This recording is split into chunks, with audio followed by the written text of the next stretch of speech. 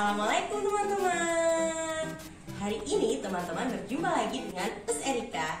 Nah tentu saja di sentra BAC Sebelumnya Us Erika akan menjelaskan sedikit dulu ya. Hari ini kita mau mengenal pulau di ujung barat Indonesia. Apa? Siapa yang tahu? Ya benar, Provinsi Aceh. Siapa yang sudah pernah pergi ke Aceh? Sebagai Mekahnya Indonesia loh. Kenapa ya dia bisa dijuluki serambi Mekahnya Indonesia? Karena pada zaman dahulu kala Aceh digunakan sebagai kiblat ilmu pengetahuan dunia teman-teman. Banyak ulama dari Timur Tengah dan bangsa lain yang pernah tinggal di sana loh. Nah, sekarang kita mengenal kebudayaan Aceh yuk. Ini ada apa ya? Ada rumah Aceh. Rumah Aceh bernama Rumoh Aceh. Apa teman-teman?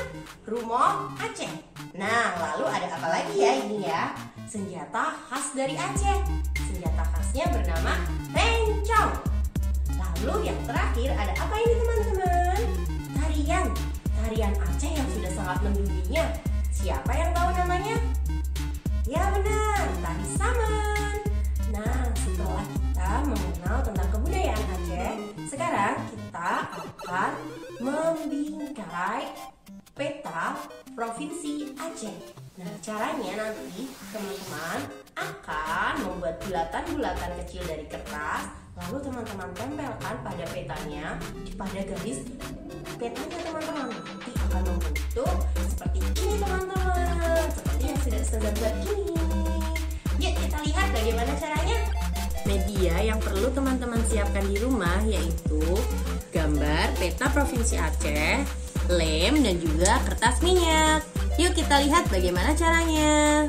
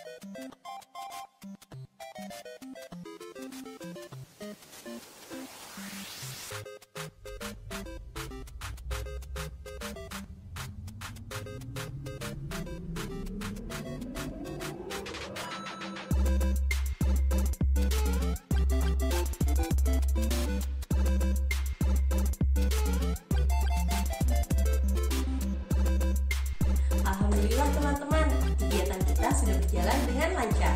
Nah, nanti Ustazah tunggu ya kiriman dari teman-teman. Teman-teman sudah hebat loh hari ini sudah mau mencoba dan berusaha membuatnya sendiri. Good job teman-teman. Ini dia teman-teman hasil dari kegiatan yang sudah USNK kerjakan. Bagus ya?